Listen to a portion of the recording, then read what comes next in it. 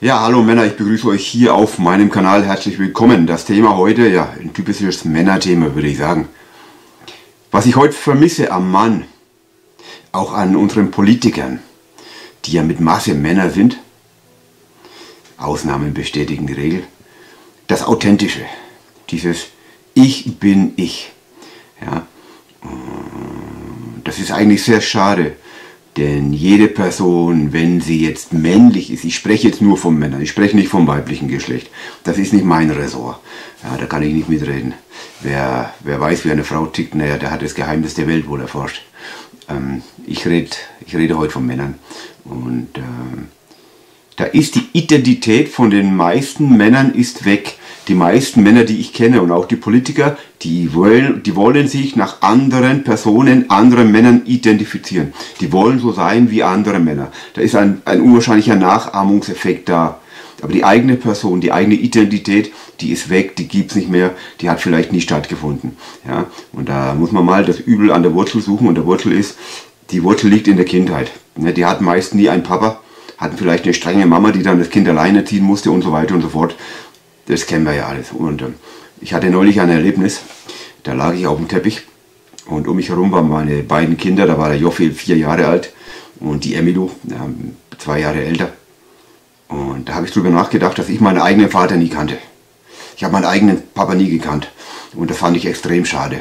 Und in meinem ganzen Leben, was ich immer, was ich gemacht habe in meinem Leben, das habe ich immer auf eine ganz spezielle Art und Weise gemacht. Immer so, so, so und so. Und nicht, und, und nicht anders nicht so und so, sondern immer nur mein, mein Weg. Bin immer nur meinen Weg gegangen. Und irgendwann habe ich darüber nachgedacht und habe mich selbst gefragt, Tom, warum hast du das gemacht?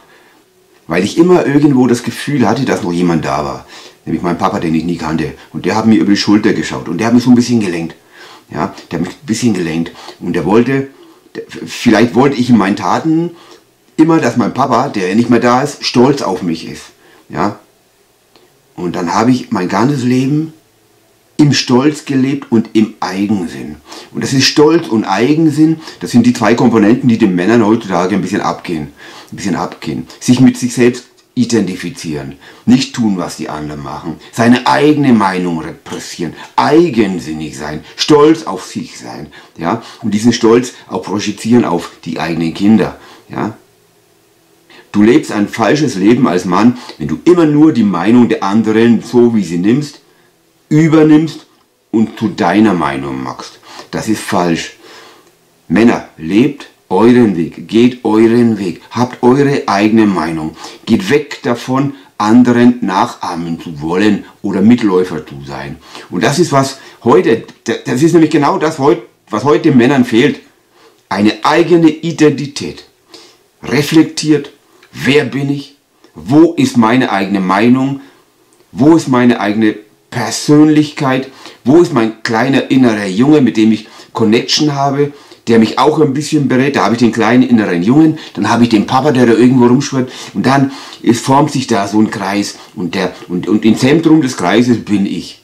Ich, authentisch, meine Meinung, mein Weg und ich schaue mir nicht von anderen ab. Und das ist ganz, ganz wichtig, junge Männer. Wenn ihr, wenn ihr ein gutes Leben führen wollt, ein authentisches Leben, dann Folgt euren Weg und orientiert euch nicht nach anderen. Habt eure eigene Meinung. Das ist ganz wichtig. Ja, und das ist eigentlich die Message, die ich heute rüberbringen wollte. Mit dieser Message entlasse ich euch in den wunderschönen sonnigen Tag hier in Schweden. Amitié Legionnaire. Dankeschön, Dankeschön.